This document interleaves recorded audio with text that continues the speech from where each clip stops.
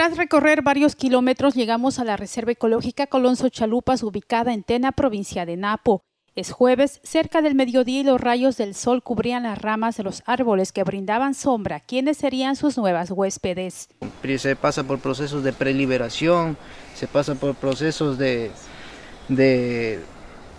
mejora de comportamiento, se pasa por procesos de de, enseñanza de destrezas eh, y evaluación de destrezas de, que se asemejen a su comportamiento natural. En este bosque de 93 mil hectáreas donde habitan mamíferos, plantas, aves, reptiles, entre otras especies, fueron reinsertadas cuatro boas conscripto tras ser rescatadas en Misaguayí y en el cantón Archidona.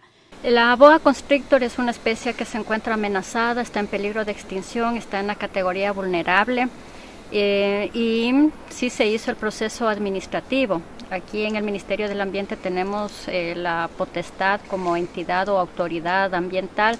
Bueno, nosotros primeramente como Policía Nacional, a través de la Unidad de Protección del Medio Ambiente, venimos este, realizando de manera conjunta con el, Ministerio del, del Ambiente operativos en protección o rescate de vidas silvestres, en este caso en toda la provincia del Napo, no únicamente aquí en el Tena.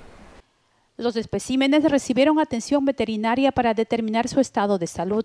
Durante seis meses permanecieron en el refugio de vida silvestre El Arca. Ellas fueron víctimas del tráfico ilegal de especies. Hasta el lugar fueron movilizadas cumpliendo los protocolos.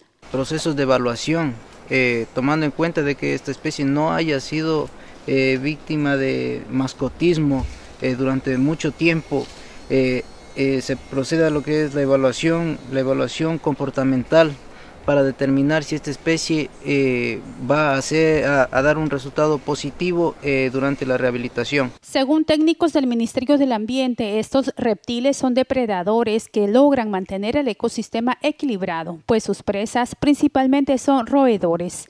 Ali TV, tu televisión amazónica.